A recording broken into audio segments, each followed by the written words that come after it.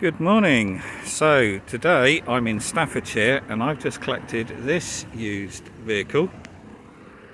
And as you can see, it's a plug-in electric. So this is a Cushman Hauler Pro. So I'll do a little video of this when I'm back and got it unloaded.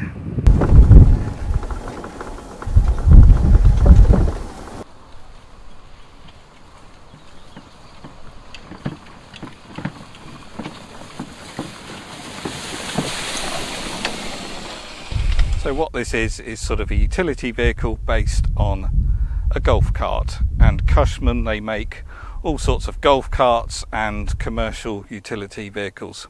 This one I think is 2018 which makes it uh, five years old. It is electric. Uh, it is only done 243 hours and as you can see all the batteries under there. So I don't really know too much about these, but I've got the original brochure from the back in the day, and I'll just go through some of the basic specs. So the new version of this vehicle has a lithium-ion battery, but these original lead-acid ones, they still do a 50 mile range, which is very impressive because a vehicle like this range isn't really important. It's about hours, and uh, I would have thought 50 miles will keep most users going for many, many weeks or a month at least.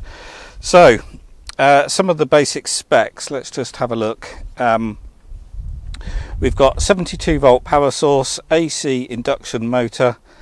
It's a 16.7 kilowatt motor, which is 22.4 horsepower, 72 volt, nine 8 volt deep cell batteries, which we'll look at underneath.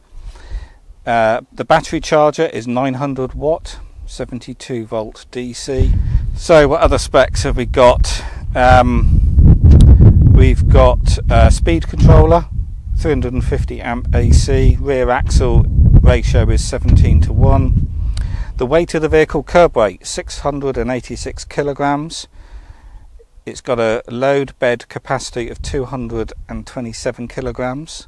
The vehicle load weight is 408 kilograms, and the speed it's got top speed of 16.5 miles per hour. I must admit, this does feel rather fast. It picks up, obviously being electric, it picks up very quick, and uh, you can shoot off a bit too quick, I think, particularly on rough ground. Anyway, uh, towing capacity 544 kilograms, and a turning circle of 7.16 meters. So that's the specs of these. So let's just have a quick look around.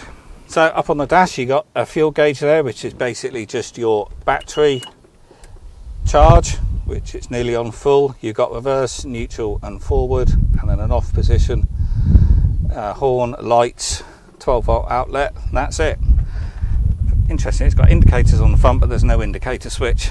And then you've got your accelerator and this is your brake and the part brake you push that top bit of the pedal to lock the brake down and this switch here tilts the bed. There. So if we go around here we can see all of the batteries. One two three four five six seven eight nine.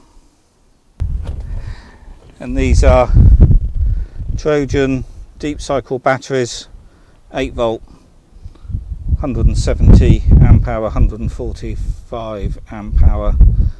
Um, so yeah nine of those totaling 72 volt. There's the electric motor down there driving the back wheels.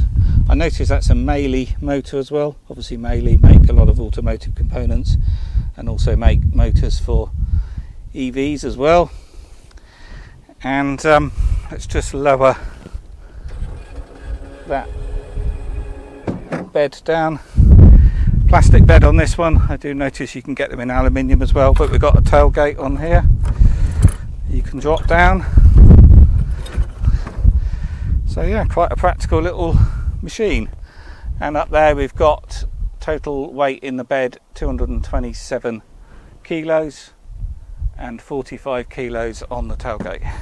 Under here you've got this switch and apparently this will disengage the drivetrain. So when it's up, you can then push the vehicle, it's disengaging the motor, and you can obviously tow the vehicle.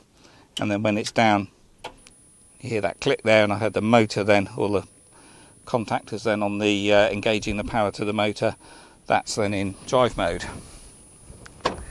Your charge port is here, 16 amp commando plug, and then it came with a commando socket on a 13 amp plug.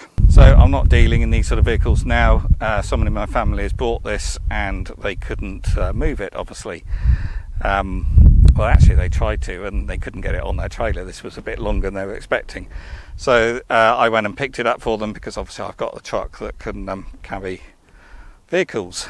Um, and then I thought, well, I've got it, I'll come and make a little video because this is electric and uh, some people might find it interesting. So I've come to the corner of this field to get away from the road and uh, it's somewhere where I can try it and just try it along the footpath. But I'm sort of expecting the farmer to turn up and go, oh, you get off my land because um, his house is on the other side of the field behind me and he'll be able to see me if he happens to be looking out of his windows and uh, probably be wondering what a vehicle is doing. But we are on a footpath here, so should be alright. But anyway, he may well be shooting up on his quad bike soon. So um, I think that's about all I can show you. Um, the other thing is obviously these are nice when they're electric. They do a petrol version, but these are just so much quieter and obviously zero emission. And uh, if you're driving around a farm or gardens or private land and things, it's just much nicer to be bombing around in silence rather than having an engine.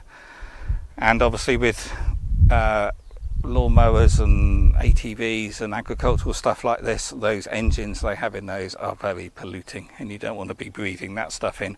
And of course, you're always right next to the exhaust, so it's not only for the um, it's not only the noise which is the issue, it's obviously they're poisonous to us as well. So uh, it makes so much sense for these to be electric.